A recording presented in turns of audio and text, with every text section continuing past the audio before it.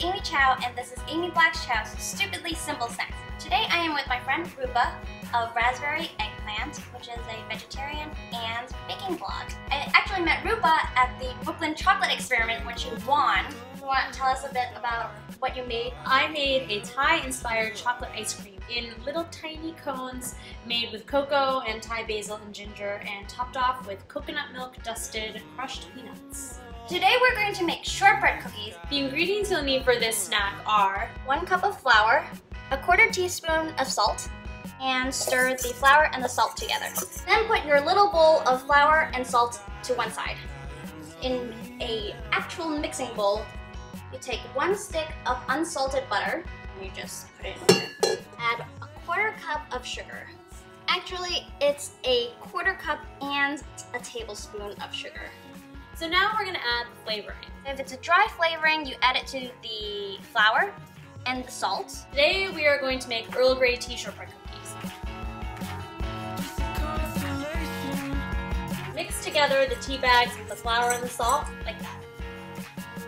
If you want to make lemon shortbread cookies, just zest the lemon and add the zest to the wet ingredients, which is the butter and the sugar bowl.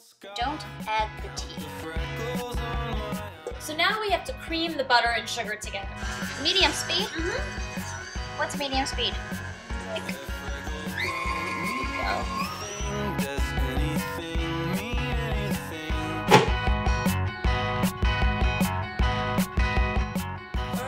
Now you add flour to the butter mixture and then mix it on the lowest speed just until the flour is combined.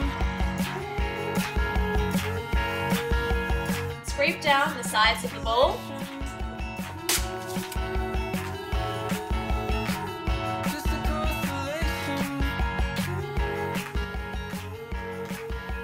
Put it in the freezer for 15 minutes to chill.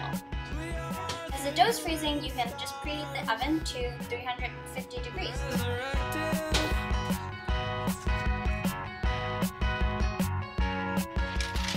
Put these in oven for about 12 minutes, um, just until they start getting a little bit golden brown around the edges. You don't want them to get very brown.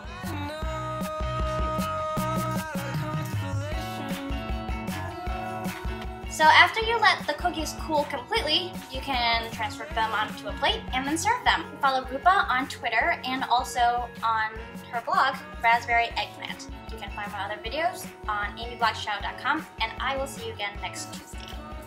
Goodbye! Bye. And then I take this out.